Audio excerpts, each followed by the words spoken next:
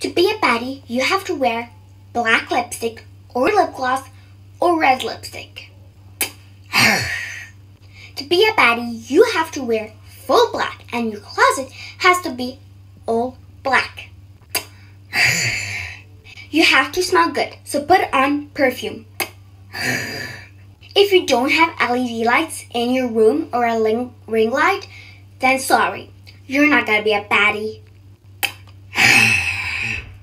Always do this. Always growl. And always a mwah.